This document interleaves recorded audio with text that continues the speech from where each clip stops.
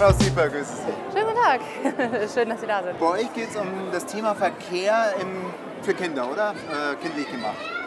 Verkehr für Kinder, das, was die Kinder erleben, das, was sie draußen erleben, bringen sie bei uns auf die Straße ins Kinderzimmer. Tatsächlich mit Straßen, mit äh, Parkhäusern, mit Bauteilen, die kombiniert werden können.